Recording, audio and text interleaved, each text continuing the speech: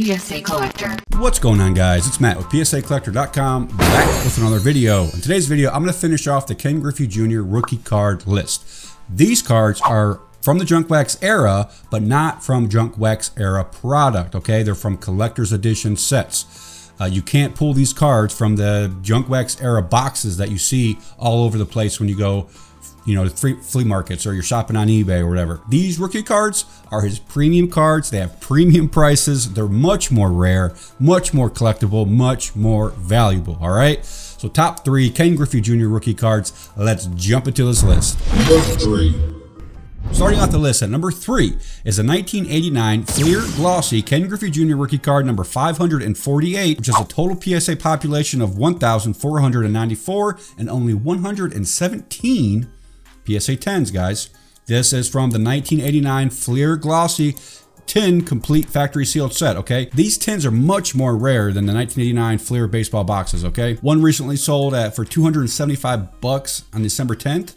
I think that was a good deal. Dang, free shipping. Factory sealed, it looks like. Um, you guys got to be very careful when you're buying these, okay? Make sure they have good feedback and a high rating. Uh, if not, you know, 275, I think that was a decent gamble. Why? Let's look what the PSA 10s are selling for. Currently, on average, a PSA 10 Fleer Glossy Ken Griffey Jr. rookie, $2,720, guys, on average, okay? PSA 10.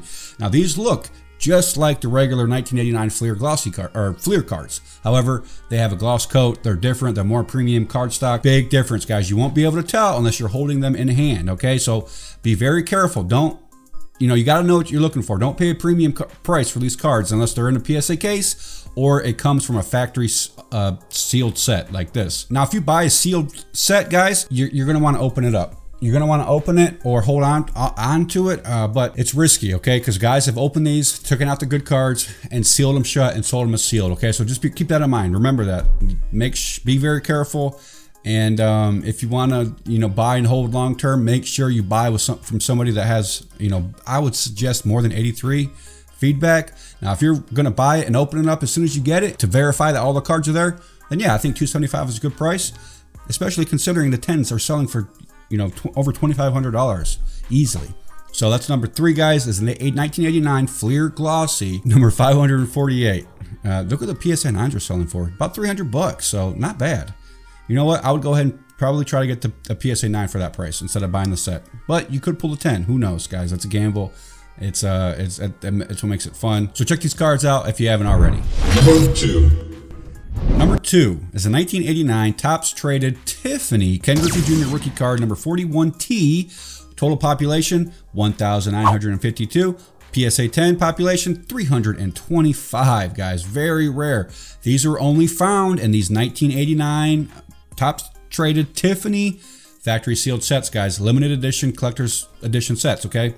Not the other junk wax era boxes. That's why look at zero available, 11 sold, over 600 bucks. I think that was a steal. Why? Because these PSA 10s are going up, guys, and they're rare. Look at how rare they are. under 2,000 have been submitted so far. And PSA 10s currently sell on average $3,211, guys and they're, they're going up. Man, they were selling for under 500 in 2018. At the beginning of 2020, they were at about a thousand bucks. So very, very nice, guys. Very, very big jump in price. Doubled your money, almost tripled your money. Um, I think these these are going to go up in value. I suggest buying them in PSA cases already if you're looking for that uh, kind of investment. Uh, go for the lower grade stuff, guys. If you you know if you can't afford a 10, heck, I'd be I'd be willing to pick up a five. But you know, 82 bucks back in 2019. I think that was a steal. A PSA 6, ooh, 133 bucks in October. I think that was a steal because you know these sets aren't going to get any cheaper. So 1989 Topps traded Tiffany.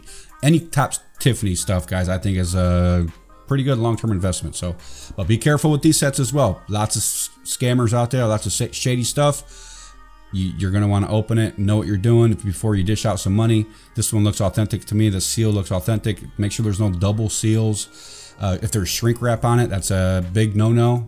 These did not come shrink wrapped. Um, but this one looks authentic to me. And I think that's why the seller had no problem selling all, all 11 of them. Number one. Number one, the highest selling Ken Griffey Jr. rookie card of all time. His 1989 Bowman Tiffany, number 220. Total PSA population of 1,521. PSA 10 population 156. These were only found in these Bowman Tiffany collector's edition sets. Right now, there's one up at auction for $1,400. Uh, this looks authentic to me, 100% positive feedback. You got 10 watchers. Who knows what's going to sell for? But these are where you found find these 89 Bowman Tiffany Ken Griffey Jr. rookie cards. Nowhere else. Only in these. Not from packs. Complete sets only. So is $1,700 a good price for this? Uh, let's see. I think so. Why? Because they currently are selling at PSA 10s are currently selling on average for $7,725. PSA 10s, guys.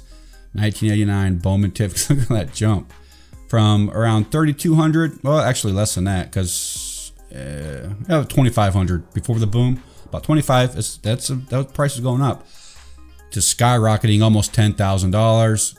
Uh, correction, new support, new support. 6,900, 7,000. I think is a good good new support. Where's the next resistance? I think 10 G's after you know next couple years, ten thousand dollars.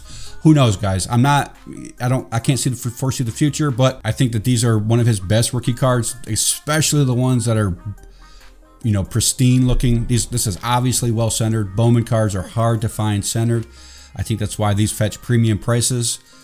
Uh, the, the, the sevens, two hundred and twenty dollars. I you know I think that's Bowman Tiffany, off centered, but still beautiful card. I think that's a great pickup at that price. You know, the eights are going up. They're all going up, guys. Make sure to take pictures if you guys are buying these car these sets, guys. There are a lot of uh, shady practices going out in the hobby. So uh, I uh, just want to let you guys know these are the top three Ken Griffey Jr. rookie cards that are going up, up, up, and they're also the rarest. There are some minor league Ken Griffey Jr. rookie cards that you should look out for. These are the cards from his actual rookie year, not the 1988 um, minor league stuff. Okay, so top three Ken Griffey Jr. rookie cards. Hope you all enjoyed. I got more coming for you. Stay posted. Click that subscribe button. Hit that notification bell. That way you get notified. And guys, do me a favor. Hit that thumbs up for me. All right. I'll see you on the next video. Thanks for watching.